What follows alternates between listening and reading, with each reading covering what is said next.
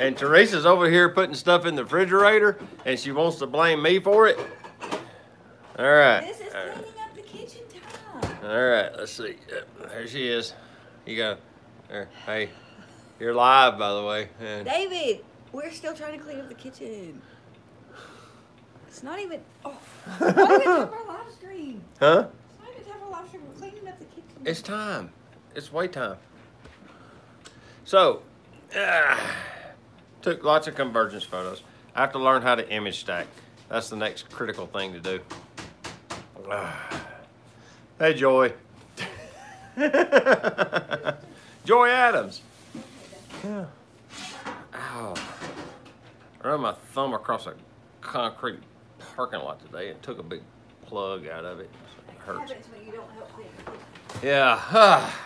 so we're in the house. I don't know how good this will stream will work because I'm on the Wi-Fi. So Teresa's trying to like do stuff. Look. Tiffany, put this down here. My plastic bowls. Is this plastic? This is glass. That's what I'm dealing with. I have to run a power cord to my phone just so it'll work. I mean, it was like so dead. but yeah, I used my brand new lens that literally came in today. My new 500 millimeter phase Fresnel f5.6. To give you an idea how big this lens is, this is the 70 to 200 f2.8. It's almost the same size. And it, but I'll tell you the truth, it's lighter than the 7200. Significantly. Feels like it is. I literally got it out of the box, put the F to Z on it, stuck it on the Z6, and immediately mounted it up and started manually focusing in Jupiter with it. Um, I was kind of impressed because when we zoomed in to check focus, I could actually see the moons of Jupiter in the picture. It looks like a line of dots going across Jupiter. I think I saw four of them in the picture. One was way down off by itself, and three of them was right around the planet. And then, of course, you you can see Saturn, but I don't know if I'm gonna get the rings to come through. I don't know if I had enough magnification because I didn't run the teleconverter. I just ran the 500 mil, which You can throw this away. it was a lot. no, you can leave it. It'll be okay. Teresa's giving me grief because I'm not helping her clean up the kitchen, which she was going to normally like task me with doing, I guess. what? Ah, this thing's got a removable foot. There it goes.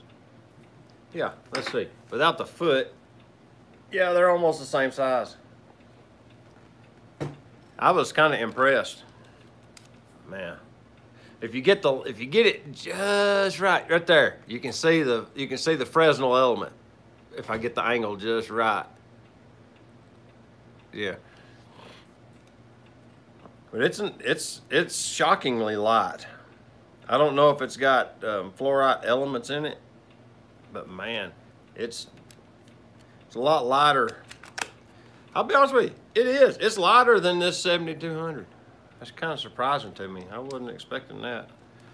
But I got some projects coming up over the next few months, and I really wanted a good, sharp 500 millimeter, and this thing excels way past my 200 to 500, which is a great lens, but this one is actually better, like pretty significantly.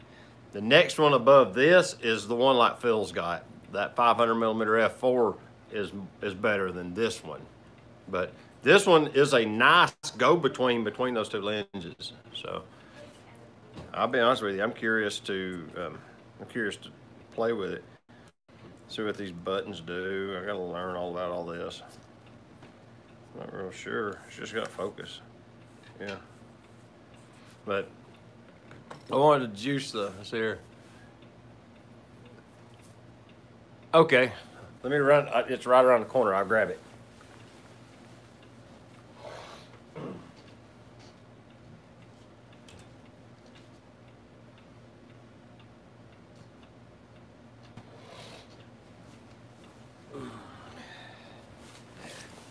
Phil said grab the 2 to 500 f5.6 and show it for size comparison. Let me get the, the shoe out of the way. Now, that's at 200 mil. What have I got down here? Oh, I've got the stupid 200 mil lock. What have I done? No, it ain't locked. It's just stuck. Uh-oh.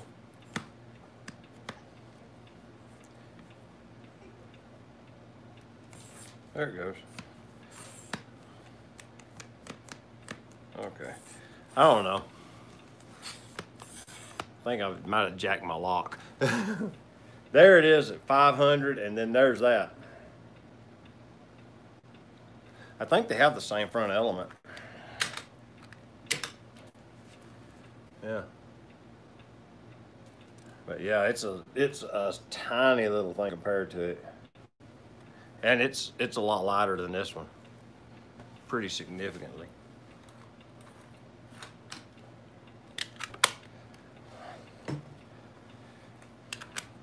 Kind of worries me now about that latch.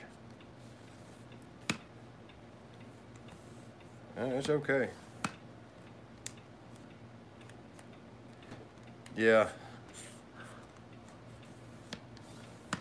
It's okay. I thought I broke my lock. I had the lens locked and I didn't realize it. Ooh. It's kind of grady now.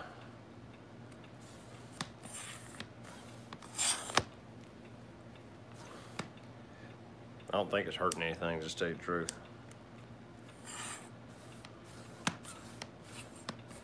Yeah. I just use it.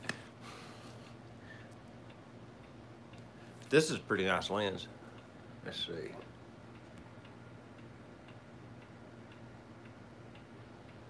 Okay.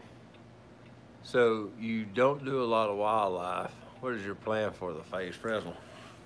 I'm going to start doing more wildlife, and uh, I've got got some projects coming up in the next couple of months that I ain't going to really get into just yet, but I want the 500 millimeters and I wanted the lighter weight lens, but I also wanted the better image quality than this one. and this thing supposedly brings it to the table, so I'm gonna play with it. But yeah, I'm gonna do I'm gonna do some do some wildlife. Hey, Phil says, okay, let's go. Yeah, I'm uh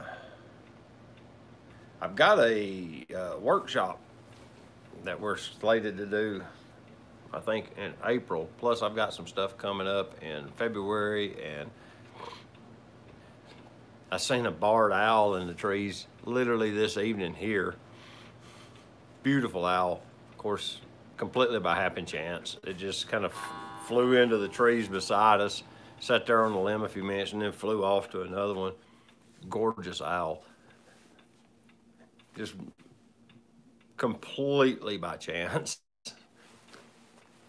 But yeah, I'm gonna mess around with some of that. Get this thing off my neck, it's hot. But, but even on the um, Z6 with the F to Z, it worked really well. It seemed to focus fast and sure. I don't know, what's minimum focus on it? Does it say eight meters to infinity or full? I don't know what minimum focus distance is. Oh, dude, it's got AF on on the buttons. Sweet. It makes a sound. Okay, there's stuff going on here I don't understand. There's a bunch of switches on this thing I ain't fully aware of. One's one's a music note, not music note, whatever that is.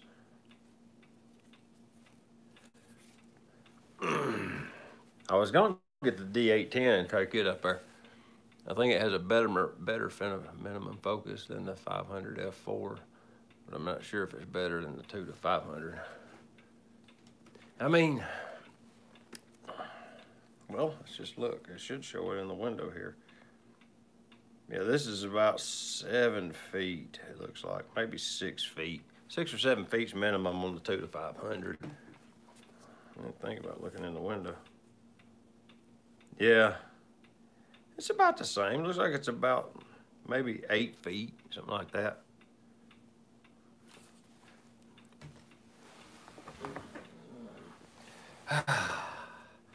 Camera's in the bedroom.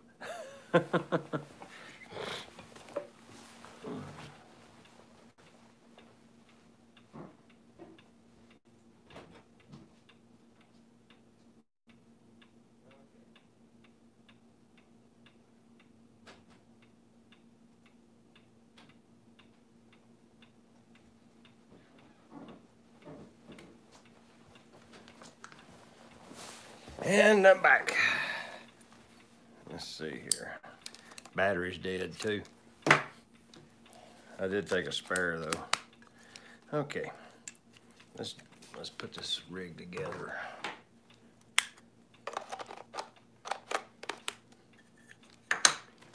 Let's see what we got.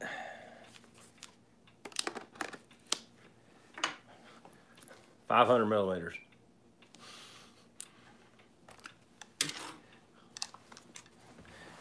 Let's see here. Oh that was quick. Oh, it's that's what's wrong. It's not wrong. I've got it on um, wide area. I'll move it to pinpoint focus. That way I can, yeah. Let's see. Even on a glossy surface, it focused fast. Let's see here. Ooh, it's a little bit, one inch, one second exposure, a little broad. okay.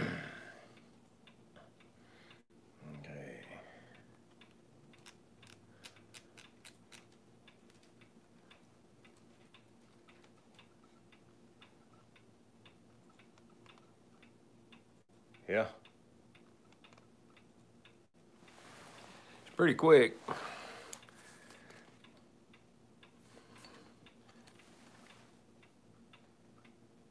Yeah. And quiet. Shockingly quiet. Okay, let's see if it works like this.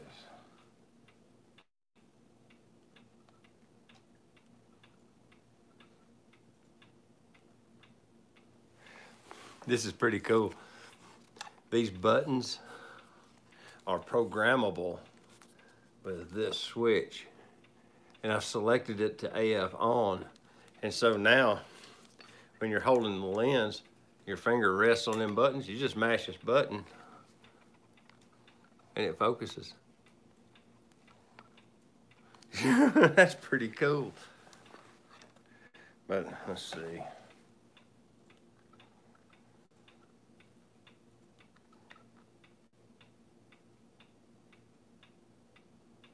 Oh, I've hit focus magnification. Let's back that off. There we go.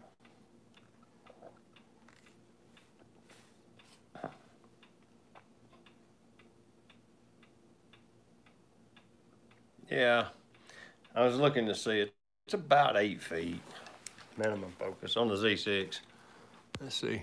All right. About 12 feet. Wow.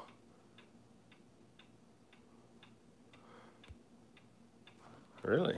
There's music? It ain't doing anything. I don't know what that does.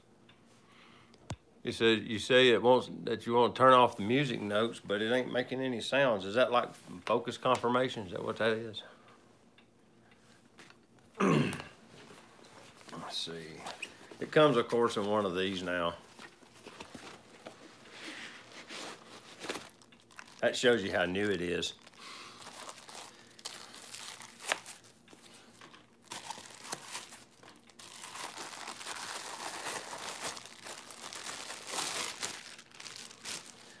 Let's see. Oh, it does have the mechanical locking lens hood. All right.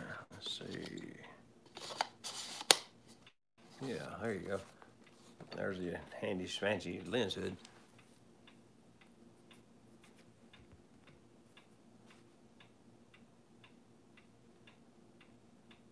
Yeah. I'm assuming it has to do with the um, focus confirmation beat if you have it enabled. It's not making any sound. Let's see if it runs quieter.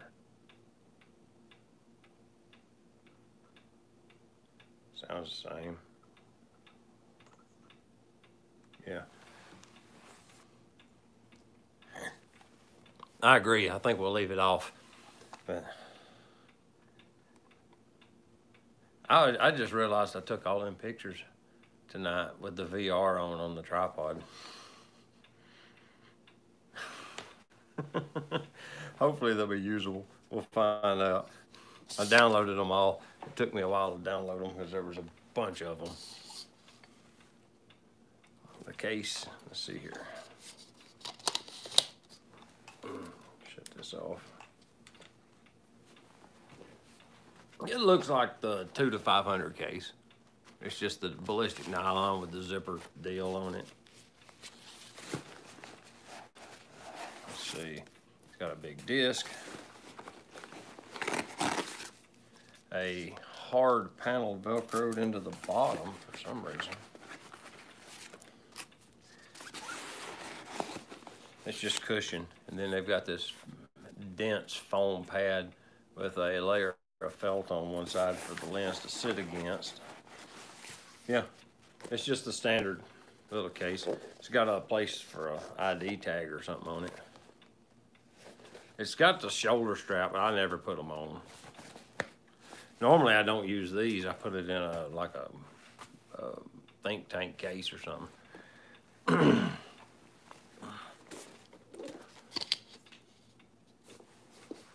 really? I think it looks the same. Maybe it don't.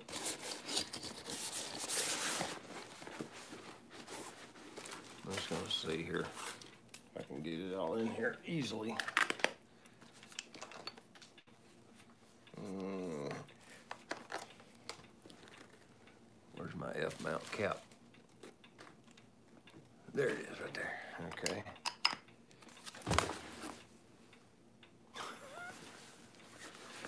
Y'all didn't see that.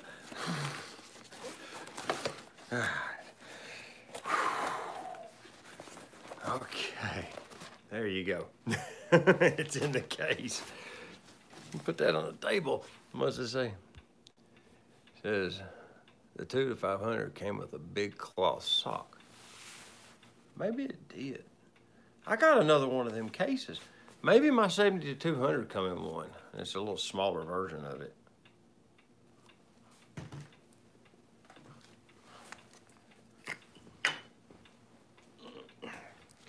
All right, now we're gonna mount this up. Okay, it's unlocked.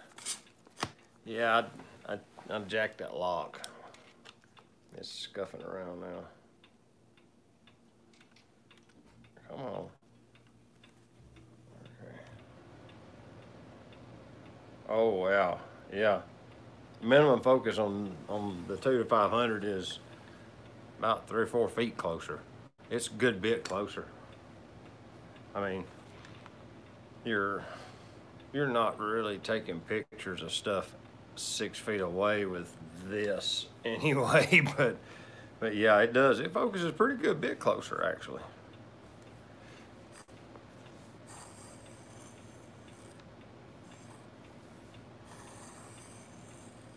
Hmm. It's kind of but worrisome.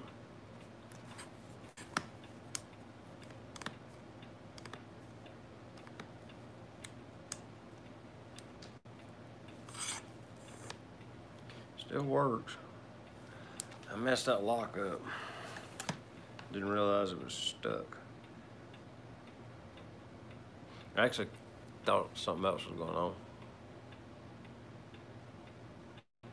Really interesting. Because you can get close. Phil says that that's why that's what makes the two to five hundred a great butterfly lens, is because you can get close. Yeah. It's heavy compared to that other one. A lot heavier. There we go. But I still like this little 24 to 70 f4 to come with it. That's a great little lens. I actually took, I took a bunch of photos. I took series with the 500 millimeter trying to get the basically the two planets and the little moons.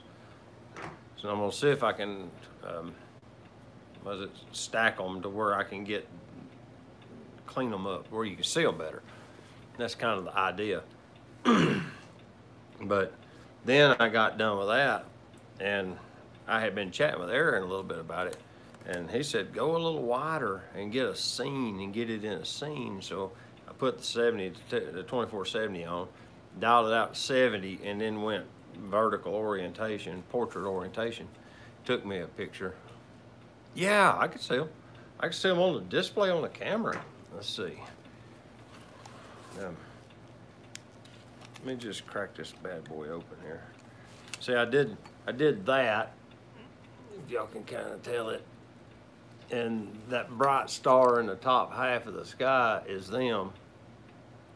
But this is at 70 millimeters. You can still see it's two distinct entities there. Man. But, let's see, let's go back and get back away from these. All right. I don't know if it'll show you or not, but you can see, yeah, y'all can see them. You can see the moons of Jupiter right through there, and that's Saturn right there. Yeah, you can see them. And there's another one down here. It's dim, but it's right down here, just out of frame. Yeah, there was, and then these are at, let's see. Ah, I thought I was gonna get the information to come up. I don't remember which button does it. That's one tenth of a second at F11 and ISO 4000. Look, that's what they look like under normal. They're just in them two little specks, and then as you zoom in, you can see the, the moons pop out of the sky. Yeah, there we go. Now you can see it. Yeah. I was kind of shocked to see them.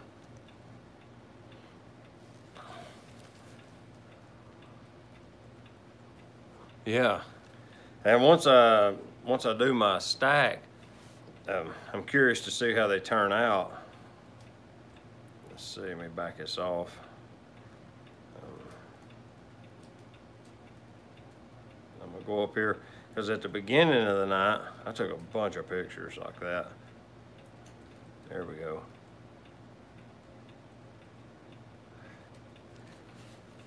To start with, I was getting moon photos just to experiment, which it looks overexposed on that, but it's not. I mean, let's see. There you go. You, and there's lots of detail in here.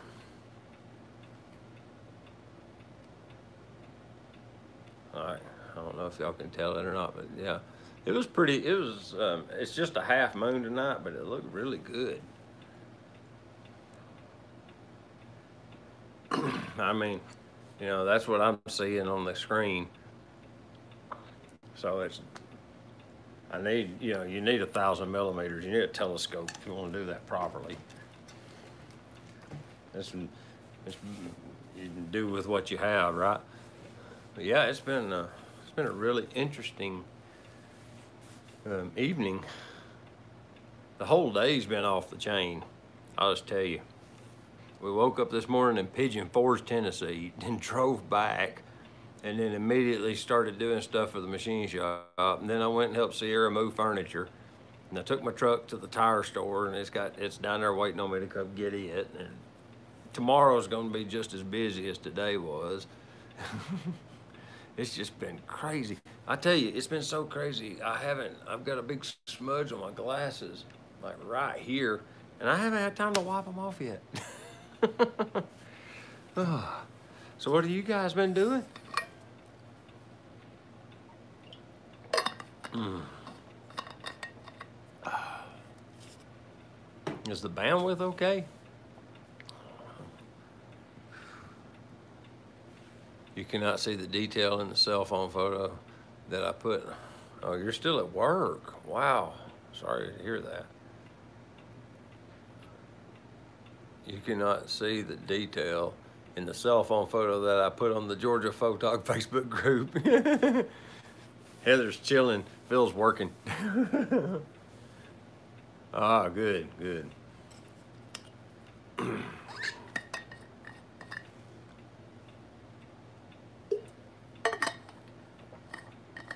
good, good. I'm glad to hear that. But yeah, tonight's been a really interesting night. I mean, literally, the box. Look, look here. I, I ripped it out of the box and went and got in the truck, the shop truck, because mine's in the in, getting tires put on it, and drove up to my sister's place at the top of the hill. I haven't even put the box away yet. Oh yeah, there's the shoulder strap.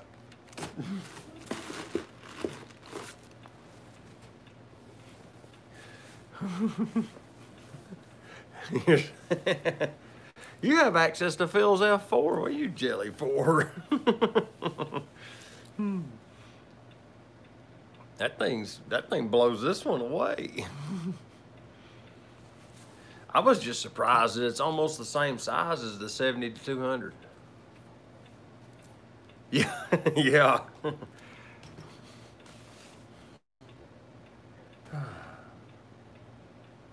F4 is a heavy creature, isn't it? It's a big lens. That's a whole bunch of glass. so the 300 millimeter will be smaller than this. Hey, Don, thank you for stopping in. Appreciate you coming by. 11 pounds? Oh, I don't even know what this thing weighs. It's got a book. Surely it's got a book. Yeah. Product literature. Look, I didn't think about that at all. Let's see. No one ever gets this out. Vibration reduction, focus distance, dimensions, weight. Three pounds, three and a half ounces. What, what Don says, I have the Nikon Z5 24 to 200 f4 and works great.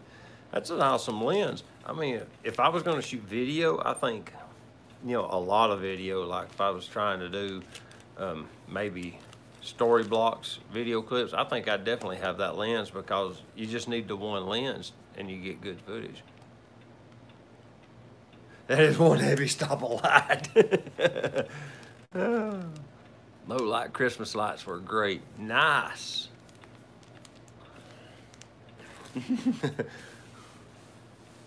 Greg Scaz, good evening. I ended up getting the 70 to 200 f2.8. Did you get the vintage look like me? With the mine don't mine has the red VR. Nice and old. This is the Gen One. Uh, if you got the new one, the FL, you got the the Primo one. Greg, Greg uh, got himself a D850 recently. Want one for my Z6. That 70 to 200 FL. That fluorite one? Is that the one you're talking about, Phil? Hey, Teresa, Greg's on. Hi, Greg. Teresa's over there in the living room.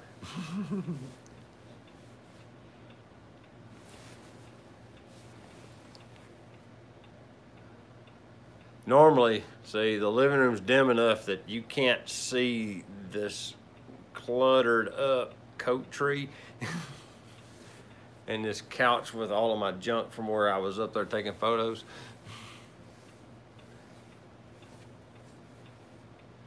I'll tell you, um, I think Heather has the Tamron 18 to 400 and she loves it.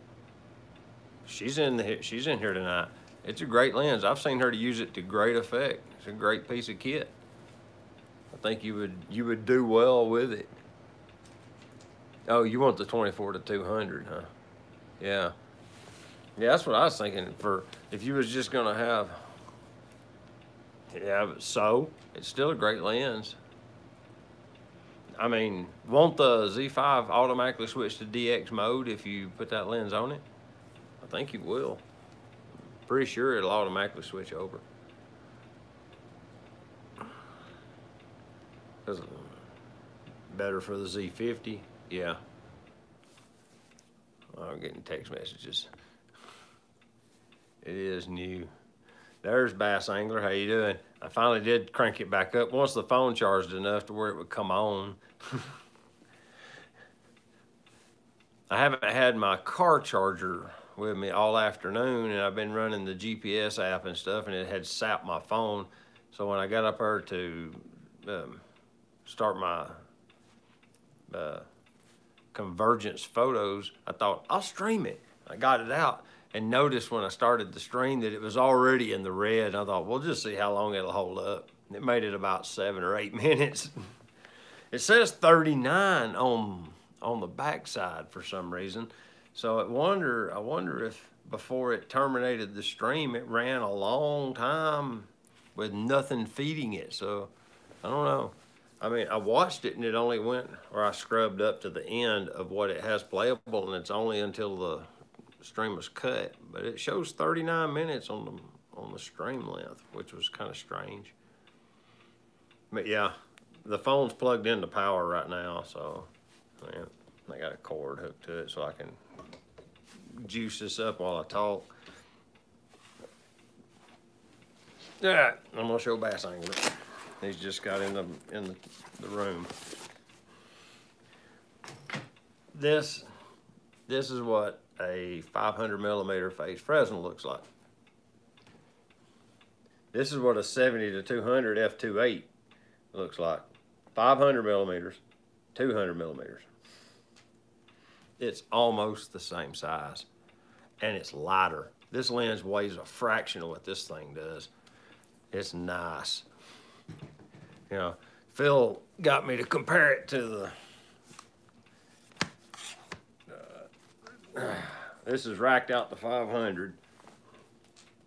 Same same focal length, same f-stop. You know, it's just yeah, this 200 to 500, it's a it's a big a big lens, but it takes really good photos. But this one supposedly takes better photos, and it's shorter, lighter, significantly smaller. So I'm curious to get it out.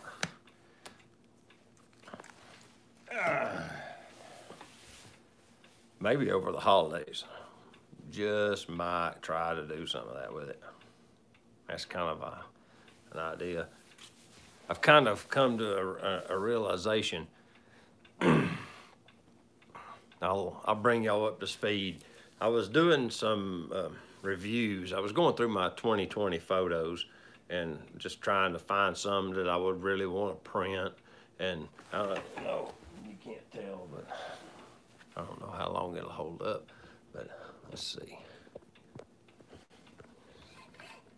We're gonna we're gonna be brave and go for it. I'll unplug the juice. I printed that sunrise photo and, and framed it. And then I printed the, oh wow, you can't even tell because of all the lights. If I get the angle right, you can see. Then I did the Pier 14 over in Myrtle Beach. And I was getting a few more out that I wanted to print. And uh, so as I was going through them, I got to noticing basically the trend of the photos that I like to take. We'll put this back on some wall power. And of those photos I like to take, I noticed I was drifting towards landscapes. That's basically what that one is and the one that's over there. Getting those angles for the camera right is hard to do. But I noticed the, the I do like street photography, but I don't like the close proximity street photography. If that makes sense. Um, what I like is capture a scene or architectural, but I really like slow shutter speed.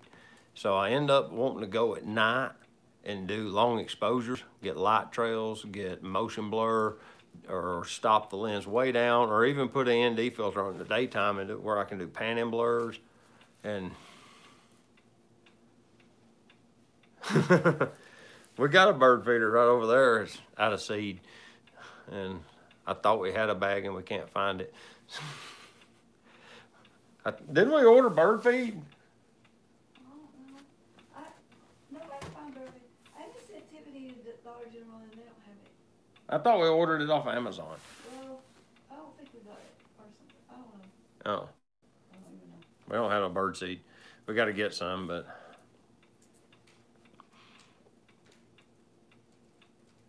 Walmart run. but wait till you see. I set up my camera. Oh, you don't hear the cuckoo clock. Cuckoo clock's electric. What you hear is this parlor clock right here. It's a mechanical clock. That's the one you hear ticking. The this clock right here I let run down because it runs. Um, it's a very inexpensive clock.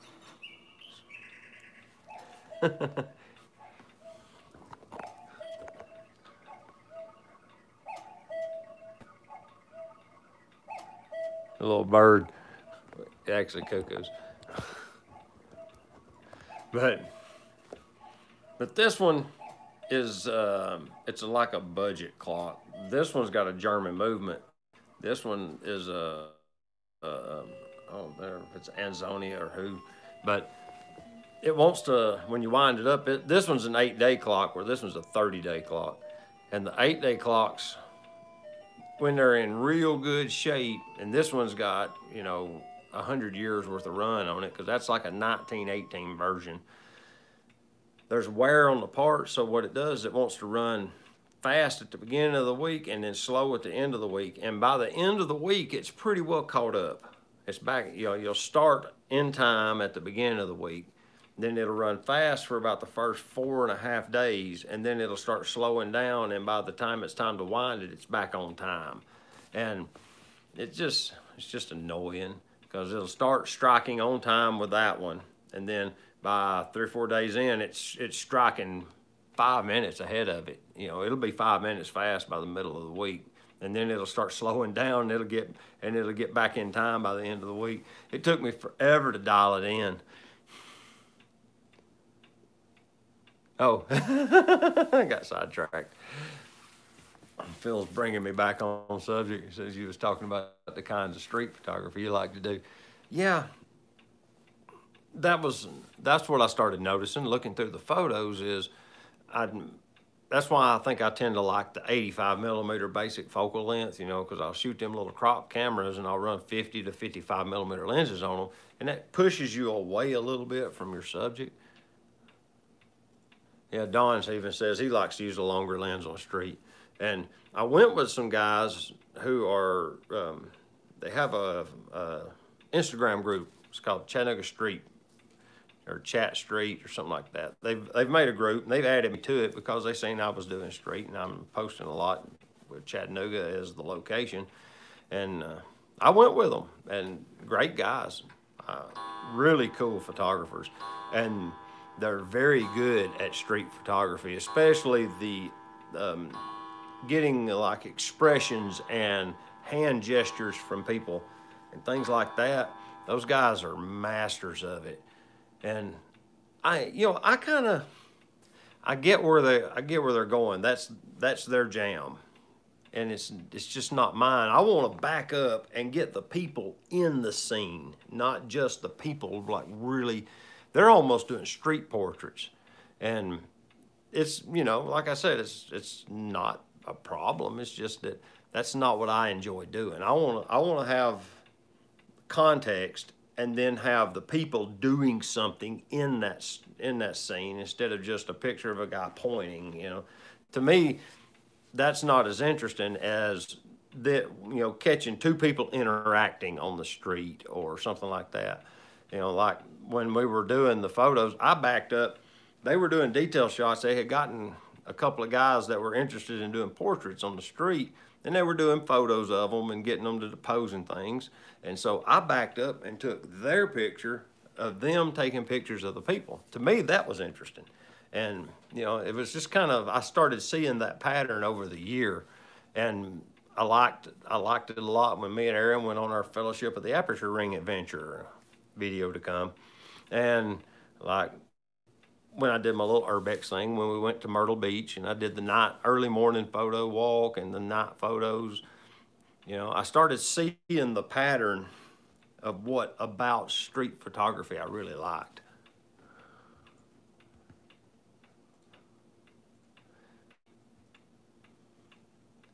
Phil says, I, I was just thinking today about how I prefer longer glass for street. Bass Angler says, I give people hand gestures quite often. Not that hand gesture. Which, it gets photographed in street pretty regular. but, I mean, Chattanooga is such a small city that, and for whatever reason, well, this year because of the Rona, you don't have a lot of people on the street, sidewalks and stuff, so it's kind of sparse. And you know, even Tech Assist jokes pretty regular about how my city looks like it's abandoned.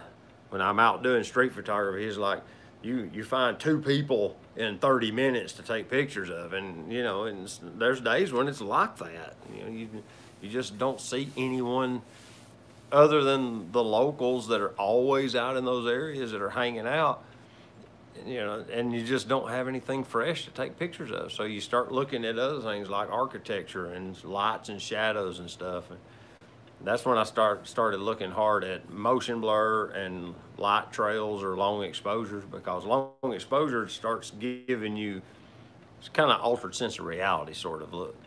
And that's where that that's where that kind of came from, I guess. Let's see.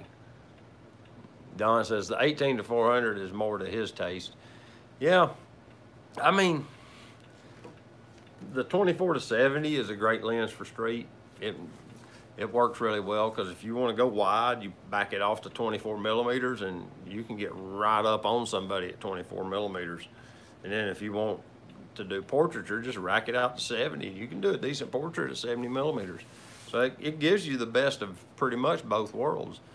And right after I got the Z6, I went with my nephew Jeremy, and we went on like a little night walk. And I was doing. I'm thinking if I'm about to mess up. No, I think it was with the Z6. I did it with the XT3 as well, but I was doing like 24 millimeter wide angle photos from down real low. I'd get right down at the ground shooting up and I'd let people walk through the frame. Back. What's back mean? Is there, am I missing something? Hmm. Oh, you're back. Oh, how you doing, Hassan? Yeah. All right. thank you for coming back. I appreciate it. Yeah, I'm back in the house now, and I've got the phone plugged into some juice so I can actually get online and stream a little bit. I was I was so excited to get some photos.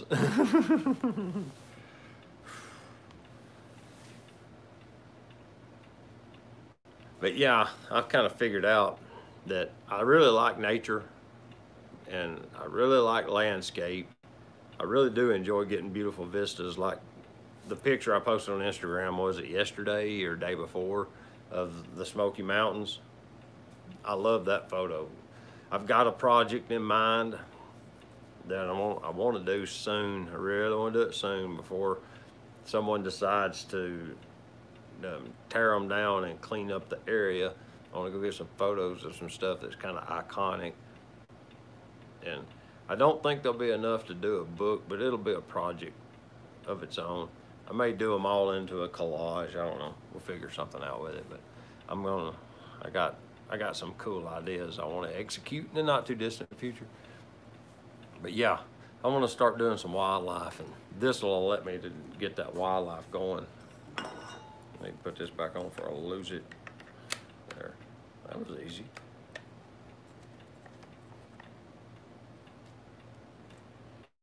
Actually, pretty sure. Man, that's small. I like that. I can only imagine how small that 300 is. If that's the 5, it's got to be just tiny.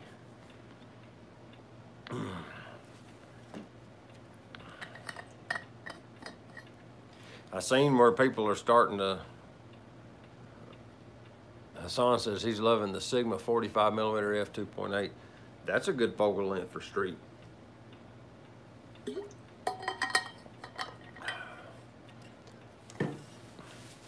You know, you're starting to see the reviews of like the Z6 and Z7 Mark II. Feels this street is fine. Um, I seen Ricci Talks gives it rave reviews and somebody else, somebody sent me a link to somebody that was talking about, it. I think it's Steve Perry said that um, the one he was using, I don't remember which version he had, but he said it looked promising. So, they may actually have the the kind of uh, focus updates that it needed from the beginning.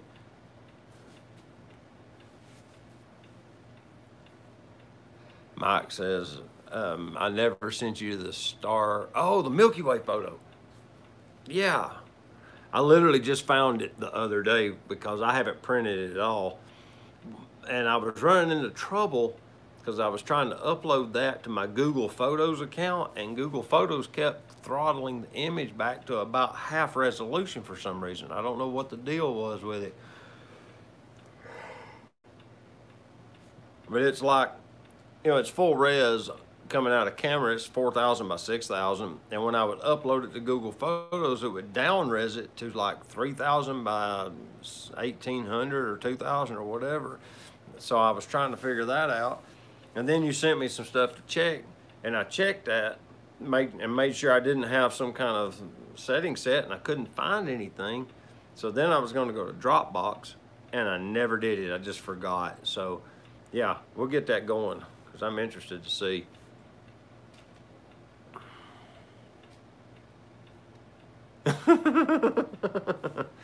That's funny.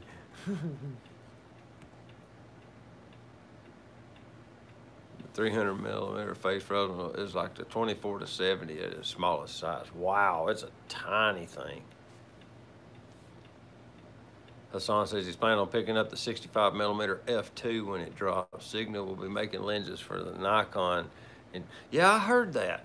That Sigma is actually going to make native glass that autofocuses on Nikon cameras, on the Z cameras at least. Yeah. Or Sigma for the Z system. That is great news. Yeah, it is. Because, you know, if they finally crack the Nikon software code to where they can do that, that'll be awesome. Everybody's cat's doing something. I think our cat's outside. We had to throw her out. She kept trying to hide under the bed. Or she in there asleep? Yeah. She was in there with Teresa asleep. All right. Yeah, I found the image. Like I said, and I moved it. I've got a folder I've set aside for images I want to print and I put it in that folder so I wouldn't forget it this time. Because like I said, I was going back through my 2020 photos, just kind of just scrolling through the, the months, going through videos. Most of my images end up in video folders where I built videos with them. So I have to go through all those video files and go into the stills and look at the stills to see. Tamron needs to support Fuji. Fuji's got a pretty strong lineup of glass now. I think it's pretty good. But I got to figure out what I'm going to do with my XT3. I haven't been using it. I have I picked it up the other day and turned it on and then set it back down. Phil says you like Mike's print work. Cool. I saw that image he printed of the glass, the wine glass for Heather it, it looked really good. Oh, look. Look, there she is.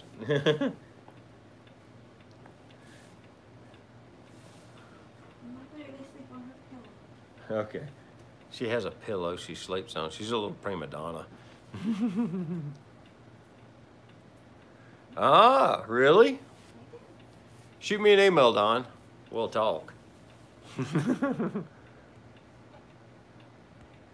Let's see.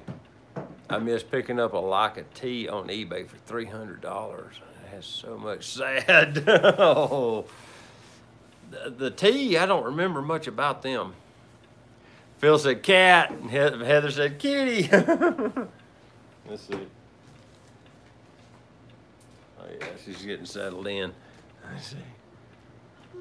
Check out send this file. It is a free app that allows you to send large files free of charge. Okay, I'll look at it. I mean, Dropbox, I believe, will allow me to do it. I've got, and my Dropbox is empty. Because what I did was I cleared it, I dumped it so that I could do the the stream picks deal, and then I'd put them in there, and Aaron would pull them out, and that because that's how I could get them up to him up in Indiana. So, and then when we were done with the stream, I'd delete them images, kind of like Phil does, where he just pulls them in straight into Lightroom and then deletes the project. I would, I would just take the whole folder and dump it, and then you know. I, I created a folder, shared it with Aaron, went in that folder, and then I do subfolder with the images, and I could just delete the subfolder. So it was real simple. That way I didn't have to reshare it every week. But so I've got a, a Dropbox that's basically empty, so I could dump it in there. I just haven't done it. It I forgot. You know, I got life got in the way, and um, but I'll do it tonight. I'll upload it to Dropbox tonight and see what it looks like. And if that don't work, I'll use I'll I'll try to use the send this file app and see how that works. Want the uh, Phil says he wants the 150 to 600 Tamron. That's what Aaron uses. Um, on on his, that's if uh, when you see our um, Fellowship of the Aperture Ring video coming soon. I'm not sure exactly when it drops. It's happening within the next few weeks, though. But that um, he that's the lens he uses, and he took some amazing elk photos with that 150 to 300 Tamron, 150 to 600 Tamron on his D850. He pretty much runs exclusively Tamron glass on his cameras. He's got all of the he's got the holy trinity of Tamron plus that 150 to 600. It's and he takes stellar photos with that setup. So yeah, there's nothing wrong with that that glass at all. I, man, cat kitty. Bass Angler said Steve Mathis Steve Mathis said he thought the Z72 was ready for birds in flight. That's a that's saying a lot because that's been the big um, hiccup of the Z cameras is the autofocus tracking speed is always questionable. Hassan says the Leica, the Leica T is the most beautiful camera Leica has ever made in his opinion. Now you got me interested. I'm gonna have to go look at it. He says it's industrial simplicity. Oh, that sounds like me made over. Phil says, I probably should not send you a text message while you are streaming from your phone. yeah, you, you see me close it or kick it out. You ain't the only person that's texting me, so don't worry. it didn't kill the stream this time. That's what that's what Teresa did that killed the stream last time. Mike Mitchum says he has the Tamron 15 to 600 G2, probably the 150 to 600 G2 and it doesn't work well with the XT4 and adapter. Maybe it's the 15 to 600. Man, that's a wide focal range. Huh. I've never seen that lens. Joy also has the 150 to 600. And we know what her bird images look like. Truth. Phil interrupting the live stream. Oh, okay. Mike said he meant the 150 to 600. Tamron built some ex eh, some extreme stuff. I wasn't I wasn't going to be surprised if there was a, a 15 to 600. I mean, what is that one that Heather's using? It's a it's a 18 to 400. Phil says I want Tamron to make that. What was what does it say? That lens native for the XT3. Oh, I see what you're saying. 18 to 400 is what Don John said, is, is a great lens. Yeah. Bass Angler says 60, Sigma makes a 60 to 400. Wow. Which I had the, I bought the Sigma 100 to 500, I believe it was. And I could never get sharp images out of it. I um, I bought it at the time we were going to Hawaii every year in February. We'd always go over there, and it's it's kind of an in between period. You can actually go to Hawaii. I gotta I gotta preface that. You used to could go to Hawaii pretty cheap in February. We would rent a little apartment and we could stay three weeks for the price of like three or four nights in Waikiki in a resort. And we'd live on the North Shore for two, three weeks. I think the longest we stayed was four weeks, and four weeks seemed a little long. We were getting kind of homesick on four weeks, but three weeks was about right. And seriously, you could live in a little apartment for like three or four weeks for like two or three grand. It was very cheap when you at, when you look at how much it costs to stay in rooms in Waikiki, and they're four hundred and five hundred dollars a night. So I I was going to photograph surfers because we were staying on the North Shore.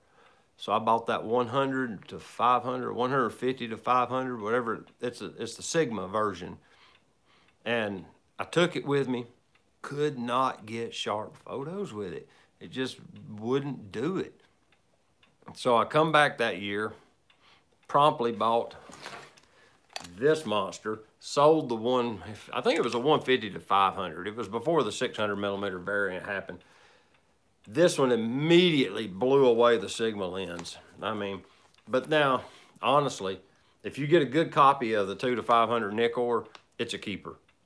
And this one actually worked right out of the box. I didn't understand that at the beginning. I didn't know that there was bad apples in the 2 to 500 space. But come to find out, they made quite a few of them that apparently had focus issues. But mine works. And I went back the next year with that and took stunning photos of surfers doing huge waves, like stuff that was kind of like I was kind of nervous and I was standing up on a very high hill shooting down into the ocean and I was worried. it was incredible. But that was that was the main reason I got that lens was to photograph those surfers doing pipeline and doing Waimea Bay. But now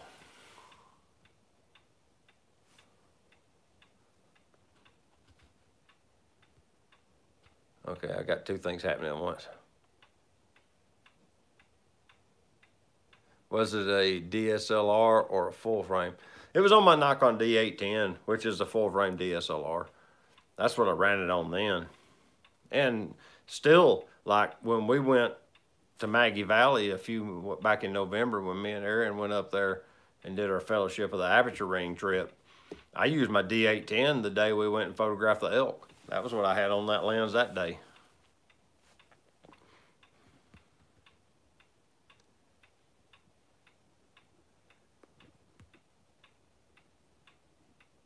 Mike Mitchum says, I had a Tamron 18 to 300 that I used on my Canon 80D. Worked great. It was pretty much the only lens I ever used. I have the 18 to 200 Nikkor DX lens. And I bought it when I bought my D7000. I bought that lens. And I put that lens, well, the first lens I bought was the 35 f1.8. And I shot that lens for basically a year. I shot everything with just that lens. And then a year later, I got that 18 to 400 because I wanted some telephoto. And it does, it's the do it all. It was 18 to 200, excuse me, 18 to 200. And, you know, on DX, that field of view is like 300. So it, it gave me a lot of magnification.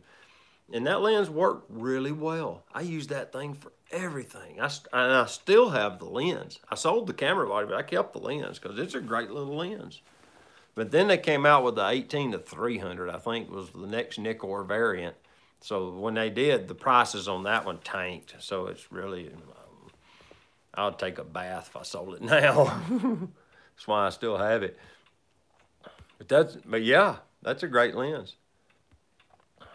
Hassan says, speaking of sharp, what is your opinion of sharp versus character? That's a really good question. So many want sharp lenses at the sacrifice of character. I think I prefer character for a little softness. It, to me, it depends on what I'm photographing. Because if I want something with a lot of crisp detail in it, like like little songbirds is a perfect example. if you if you're photographing songbirds up close, you want to see the lines on the feathers. You know, you just want that detail. And a good sharp lens gives you that because you don't lose the you don't lose the sharpness through you're calling it character. I'm calling it distortion in the glass or um, resolution resolving power. That's the word i'm looking for. If the, if the glass can't resolve the detail to the sensor because the sensor can record the detail. It's just got the lens has to give it the detail. So you know if i'm doing portraits i like the lens to be just a touch soft for portraits just a little. It's nice. That's why I like vintage glass for portraiture because it's a little softer a lot of times, just a little bit. You know, like honestly, this 24 to 70 f4S lens is clinically sharp. It's ridiculous how sharp this lens is to the point that when you're doing portraits of women, they don't want every little perfection on their face to show up in the photo. And if you use a vintage lens to shoot that portrait, they won't see them and they'll be happier with your portraiture. Pro tip. I have figured that out with Teresa. She can't hear me, she's off in the other room. but it's the truth. I mean, they don't want you to show the little imperfections in their makeup application or that they their little black brush they make their eyelashes bigger with, where they might have bumped their eye right here doing it. They, they don't want that to show up. So if you do it with a vintage lens, typically it won't.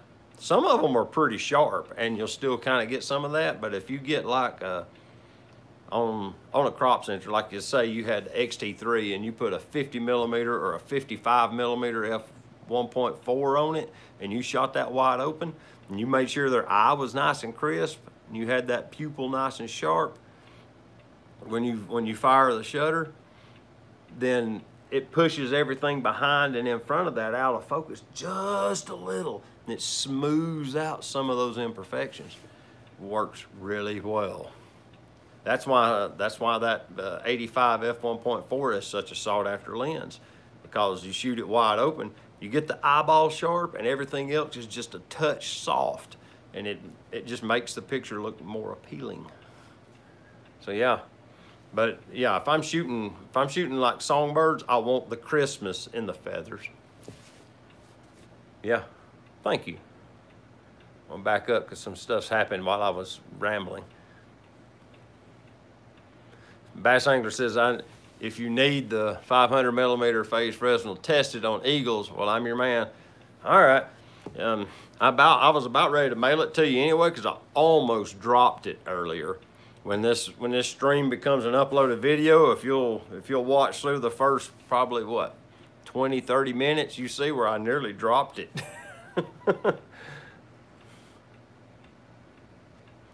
Phil Thatch says, I think character has its place and sharp has its place, but each has a time and place. Perfect example, perfect explanation, Phil. Thank you. Bass angler wants sharpness because he's shooting daggum eagles. Phil's like me. He says, I like playing around with vintage prime lenses when he shoots portraits. And me too. The, the vintage glass works really well for that sort of thing. I, I shot Sierra senior portraits with the 58 millimeter f1.4 or f1.2 Minolta Prime on my XT3. Look, hold on just a second.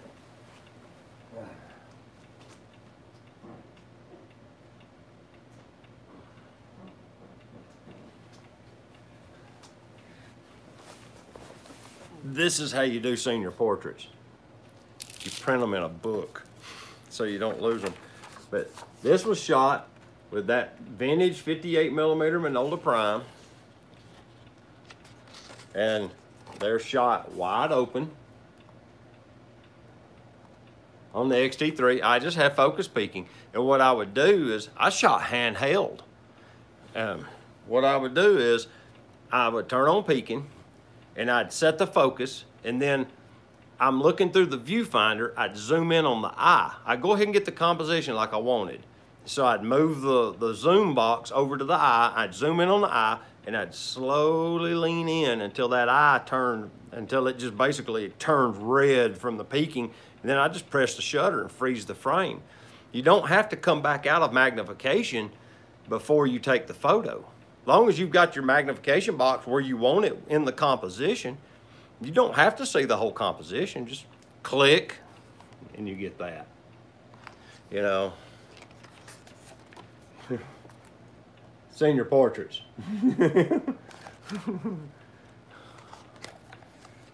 but yeah, we like we we went out and did all sorts of stuff. And but yeah, I printed them in a book so I wouldn't lose them. But yeah, dude, you can get beautiful photos with vintage glass. And that was the only lens I took that day. I took the camera with the battery pack and that 58 millimeter Minolta, and that was all I used the whole day. Thank you, Hassan. I appreciate that. I don't consider myself a very good portrait photographer. Let's see. Dwayne McCullen says, Hi, David. I had the Nikon 18 to 200 and loved it. After 14 years, it isn't focusing from 18 to 70. Hmm. I repaired this six years ago, so I'm junking it. You want to buy my old one? I'm not using it. Unless I get a Z50, then I could I could rig it up and make it a loaner camera for Sierra or something. Hassan's talking to Phil. Good points. I agree. Thank you. Hey, Martin, thank you for stopping by the live stream. Appreciate you. Martin's been uploading content here lately, and his videos are awesome. I'll just be honest with you. I liked your landscape video, dude. That was sweet, especially with your going out to the Lake District like you did. I really liked that photo, or actually all the photos, but particularly the one where you were showing the reflection. I believe it was, it was closer to the beginning that was a really beautiful photo, dude. Oh yeah, I do too. Don't he says he's got to get better at the video side. Don't we all? Let's see. I got to back up and catch.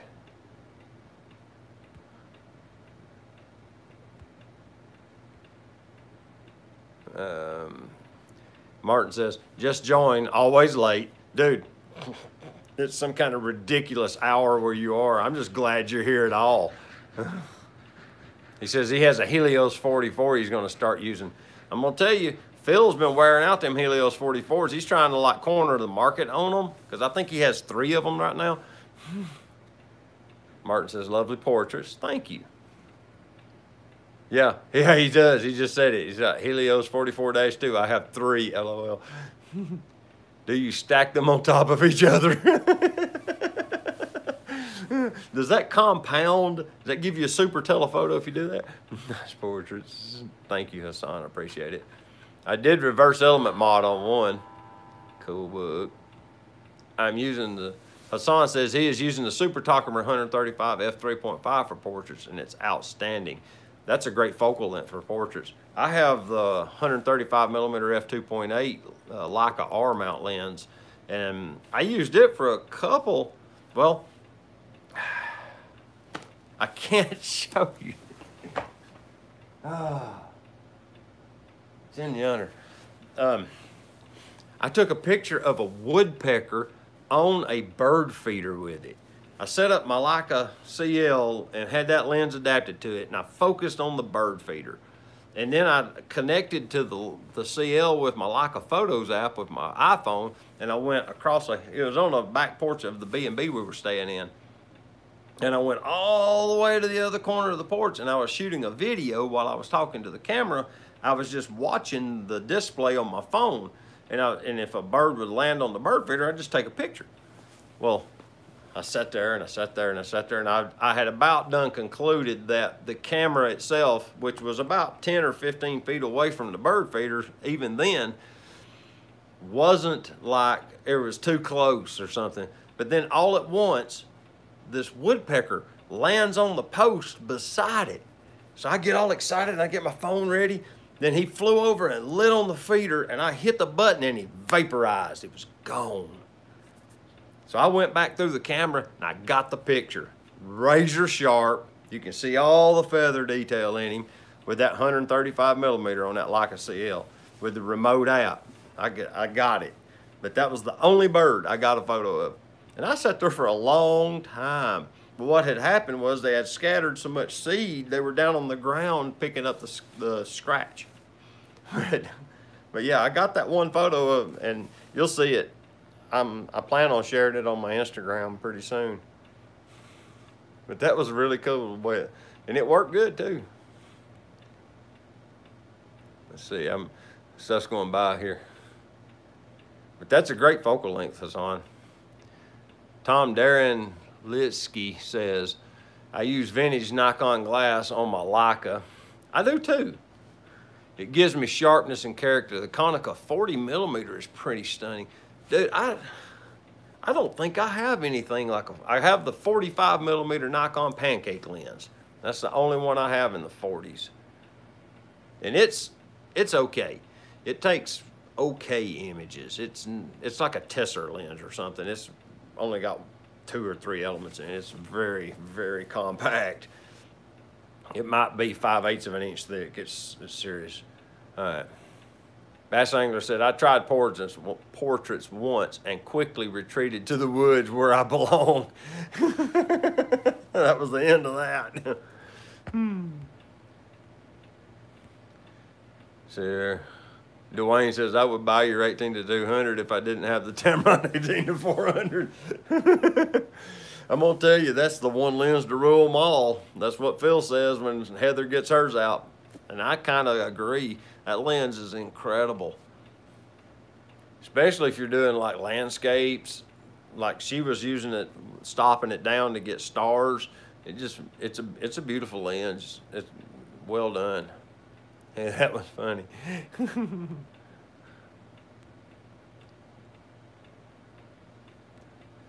Hannah, Phil says, Hanimex 135 F28, $15 for the win. Dude, talking about bargain right there.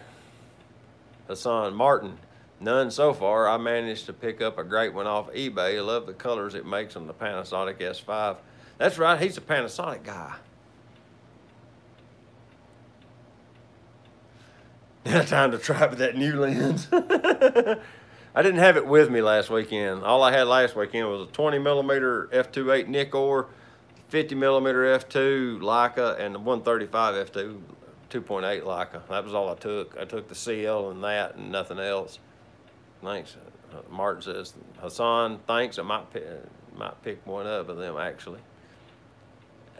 Adrian was here? Uh -huh. I didn't even know you was here, Adrian. Thank you for coming. Good night. I appreciate you, or unless you're just saying good evening. Buenos noches, if I said that right. But I'm glad to see you. Martin says, did you review that Leica you're using? I didn't know about it till I saw you using it. Not yet. I haven't officially, I've done a few little chit chats here and there about the CL, but I haven't done an official review because I wanted to use it a while first. And I've had it a good while and I've used it a lot, so I guess it's about time I sit down and do one on it. I haven't done I haven't done my one year review on my Z6 either. It's kind of a it's kind of a hard thing to do.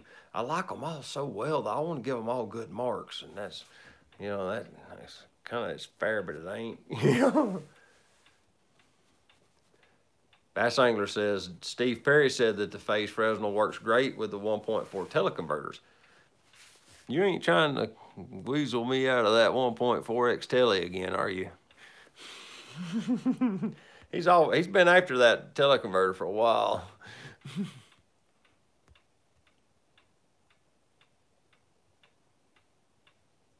Martin says Hassan says the black and white it produces are better are very very good better than the colors in his opinion interesting and you got to know your place. Heather has found her spot. Phil is the waterfall master, and Dave is the street photographer. it, I just arrived. Buenas noches. Good to see you, Adrian. Thank you for coming. Could you compare it to the Fuji? Maybe that would give it a reference point. I can give you the summarization now. The CL is less featured than the XT3, um, significantly less featured, but it's more fun to shoot, if that makes sense. Look, don't run off. I'll be right back. I'm gonna step around the corner here and grab something. Yeah.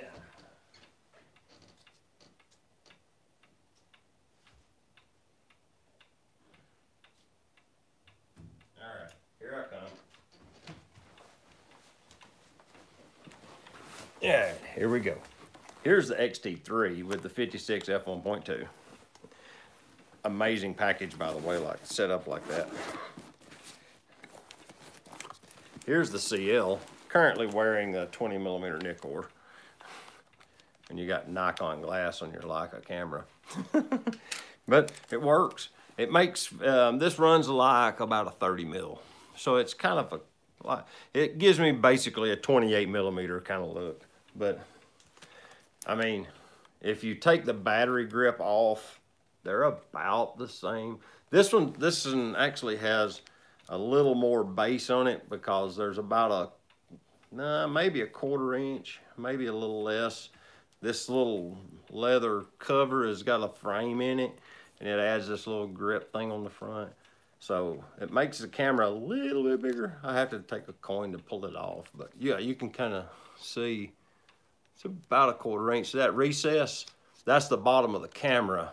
So you can kind of see how much this adds to the bottom. But as far as the physical cameras go,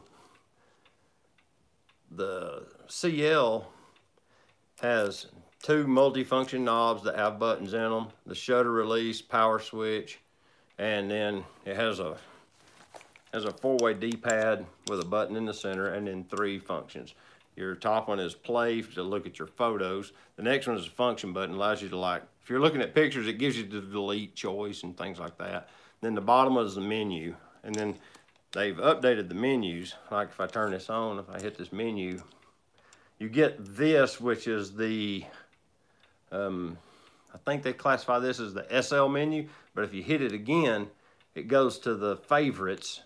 And then the next one, then it starts toggling through the actual menu pages, and there's like five pages of menus, and then it resets and does it again. Like exposure compensation is right there. Then you can, you can drag the slider with your finger, uh, I've changed it to something else, but you know, and then you can go through your favorites. What What's good is is your favorites comes up before the rest of the menu. I really like that function, but but I like this camera better than the XT3. They this has more megapixels. This is like 26.2. This is only 24. This produces 6,000 by 4,000, or this is, I don't remember, but it's a little over that. It's like 6,300 and change or something like, like that. But this camera takes phenomenal photos. The XT3 is an amazing camera. I used it for, what, two years. Loved it. Great machine. I took it and done landscape with it. It's a great camera. And I still like it. And it has things that it can do, like I said, like that. When the screen tips up, because it allows you to get down low and still see the composition and then take the photo pointing up that's a nice function. That's the only camera I have that, that, that the screen does that. I'm, I'm not big on flip around screens. I don't use them. I just don't need it. So I'm not a big worrisome on that. But this screen doesn't do any of that. It's it, it's just fixed. So you're you're sometimes you have to guess. But I just like this package. You know, it's got a, a battery right here. Yeah. I got several batteries so that since I don't run battery grips, but it don't have any like external ports. Um, you you don't have like USB ports or HDMI ports or any of any of these myriad of connections that the XT3 has right here. None of them, like zero. it's meant to take still photos. It has video capability but I, I have never used it. But it's not, it's kind of, it's almost an afterthought. It really is. It's not really meant for video. It's meant to take photos. It's meant to be a street camera. So, but yeah, I run it. Here's my, there's the 135 f2.8. They call it Elmarit, but it's an R mount lens. It's beautiful glass. And I got it, and I got the, this weekend I took the 50 and then just ran them. That was all I took was the 50, the 135, and the 20. And nothing else. And had a lot of fun. I wound up running that 20 millimeter most of the weekend. Let's see. Man, y'all been talking. I got to read these comments to catch up. So I could do a video about that. It wouldn't be hard to do. Oh boy, David, you're slacking there. We want more videos. Yeah. Just posted my Star of Bethlehem photo on Peter Gray Facebook page. Ah, you done got yours edited. I took pictures. oh yeah. It's on this camera. We'll see if it'll let me show you. Back up a few pages. I took a bunch of pictures. There's them. Yeah, yeah. Bucks a million. There's breakfast. Ha! Let's see if you can see it. If I can get the camera to adjust brightness. Dang, it ain't gonna let me. Dang, and I can't adjust brightness on here. Ah, that's killing me because it's awesome.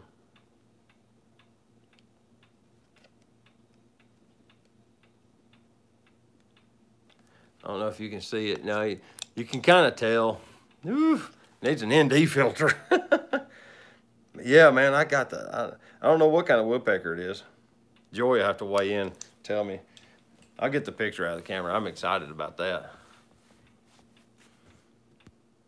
Let me back up and see what I've missed. Man, y'all been saying stuff.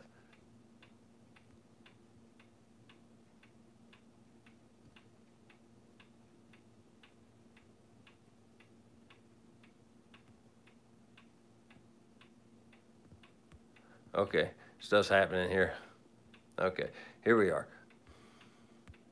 As always, you know I want the teleconverter and now the phase Fresnel. you can make me a great package deal. All right, you got me on that one. Phil, are we in full Bocephus mode yet? hmm. Yeah, I like the rangefinder aspect of it too, and the viewfinder is nice in it. It's got a it's got a beautiful electronic viewfinder. Are there any lenses you'd use for really wide angle? Yeah, honestly, I have I have really thought about getting something like a um, that 14 millimeter. Uh, was it the the Venus Laowa Laowa that's recently come out? They got like a 14 millimeter f 2.8 I've and and it's got real high marks. Everybody that's messed with it has loved it, and I've thought about grabbing one of those. It's manual, it's full manual lens, but so is all these other ones.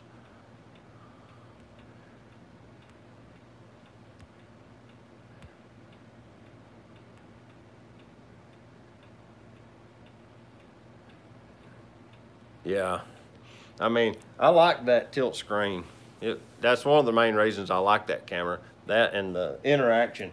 I mean, when you when you finally get to where you you understand what's going on with ISO, shutter speed, and exposure compensation, you know, and it's just it's a photographer's camera, and it does good video too. I ain't shot much video with that one. I did a bunch of slow-mo when I shot, I, I videoed a wedding and made a montage photo collection for a friend of ours that um, I used it for that, and it worked really well.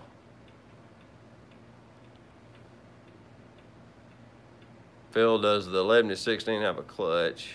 Southern California moon is out, but no star. Yeah, um, supposedly it wasn't going to be visible after like an hour or two. I got out early. We were there at sundown, and it's almost comical because me and my nephew were out in the yard, I went to my sister's yard because she has kind of a high ground yard, and so the horizon's a little easier to see. And we started looking where I thought it was supposed to be, and I started we started noticing this little what what we thought was the star down low, kind of low on the horizon. So I zoomed in, took a photo, and it looked like a meteor. I was like, that ain't right. So then it, it was moving real slow across the sky. So after it moved a little ways, I refocused, took another picture. It's a stupid airplane. it was flying almost straight towards us, and we couldn't tell it. but while I was while I was focused in on the Jupiter and, and Saturn, I had a plane fly through the frame. I had a satellite go through the frame, and neither one of which I was like videoing. I didn't video either one of them, but I thought that's pretty cool information. Stuff's going by the whole time, you know.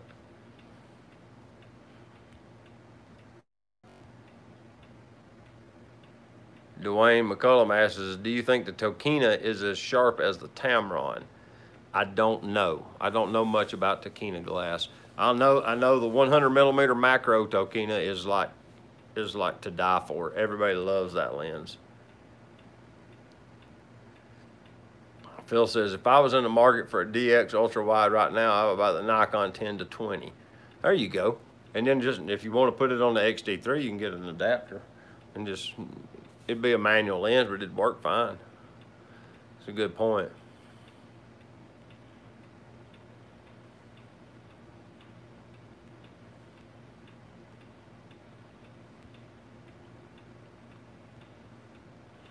I'm just looking up the, um, in fact, I use it adapted on my XT3. I like the clutch, both if it's rules. I was taught on the Leica M3. Wow. That's awesome. That'd be sweet. I wouldn't mind shooting some film in a Leica M3, M4, even an M5 or an M6, you know. But the M3 needs a light meter. So you have to get one of them little tiny light meters that goes in the hot shoe or carry one extra or learn your film well enough, I guess, that you could eyeball it. But you can overexpose what I found out with Tri-X and with HP5, you can overexpose them fair bit and they still make good photos. But that's a, that's a rabbit hole.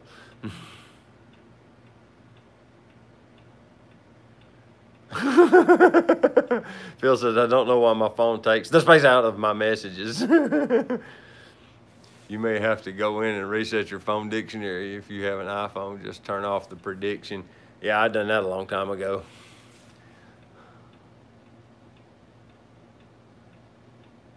Don Jones says, I'm in the flight path. I know what you mean. That's kind of funny. But yeah, if I was, pull this off. If I was going to recommend someone get a Fuji camera, it would be this one. It wouldn't be the X-T4 because this camera, let me just check something out. Um, this one, yeah. I want to see what film simulations I have now. Pro Negative High, Eterna, Acros, Monochrome Sepia. Eterna, Pro Negative Standard, Pro Negative High, Classic Chrome, Astia, Velvia, and, and Provia, which is standard. Okay. Eterna.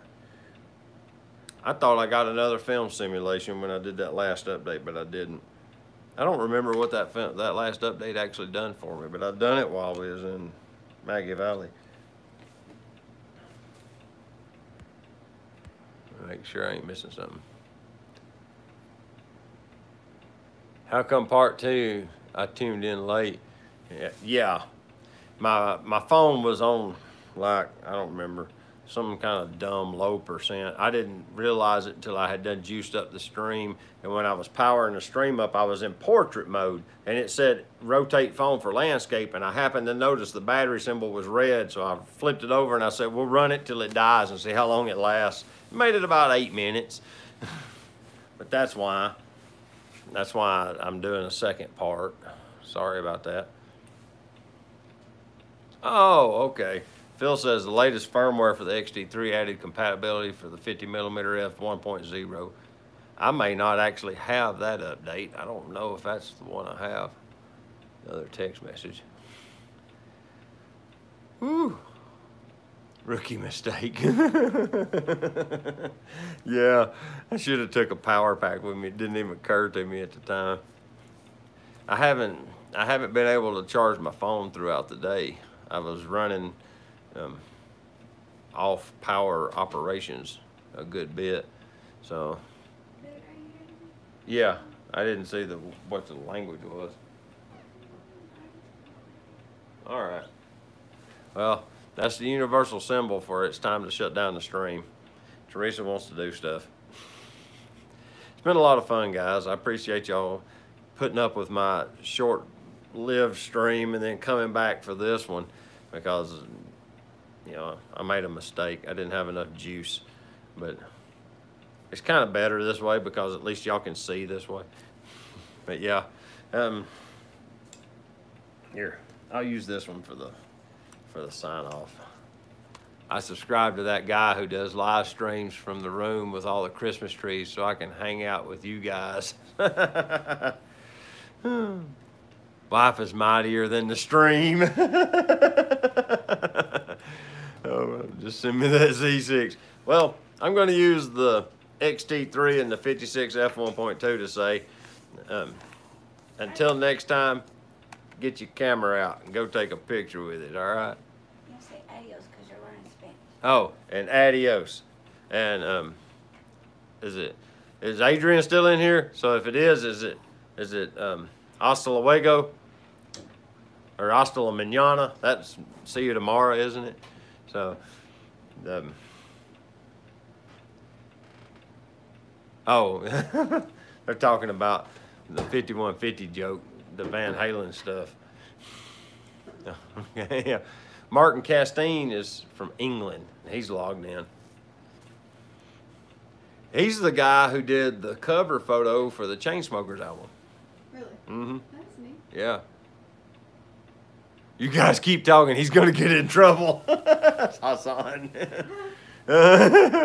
we'll see you guys later. Good night.